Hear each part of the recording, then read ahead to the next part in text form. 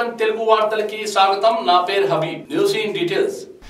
YS జగన్పై విశాఖ ఎయిర్పోర్ట్లో జరిగిన హత్యాయత్నంపై థర్డ్ పార్టీ ఎంక్వైరీ చేయించాలని ముఖ్యంగా హత్యాయత్నం జరిగిన రోజున పార్టీ శ్రేణులు శాంతియుతంగా నిరసన తెలియజేస్తే పోలీసులు నిరసన తెలియజేసిన తమ నాయకులపై అక్రమంగా పెట్టిన కేసులను విరమించుకోవాలని నియోజకవర్గం ఉమాశంకర్ గణేష్ ఆధ్వర్యంలో భారీ ర్యాలీ నిరసన కార్యక్రమం చేశారు. ఈ కార్యక్రమంలో పార్టీ నాయకులు భారీగా పాల్గొన్నారు.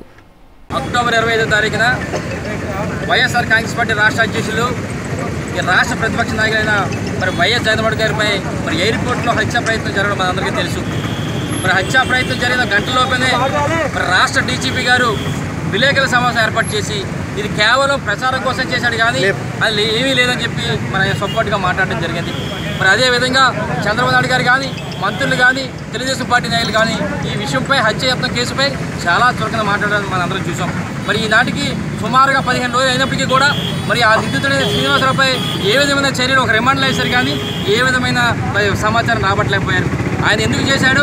వారి వెనకాల ఎవరున్నారు ఎవరు ప్రలోభాలతో చేశాడు ఈనాటికి కూడా ఈ ప్రభుత్వం మరి తేల్చలేదు సరికదా?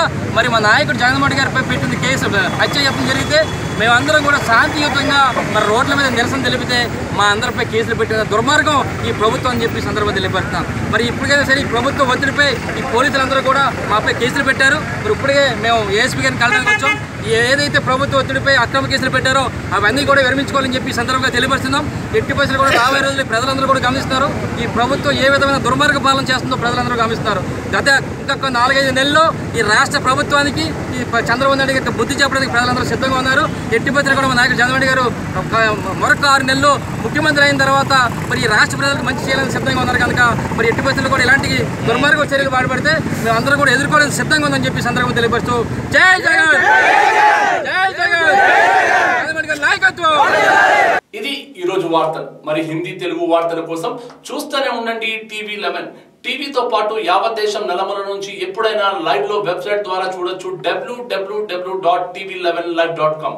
అలాగే మా టీవీ లెవెన్ ఛానల్ని మొబైల్ ఫోన్లో లైవ్లో చూడొచ్చు. గూగుల్ ప్లే స్టోర్లో వెళ్ళి టీవీ లెవెన్ యాప్ డౌన్లోడ్ చేసుకోండి. This is Habib take care.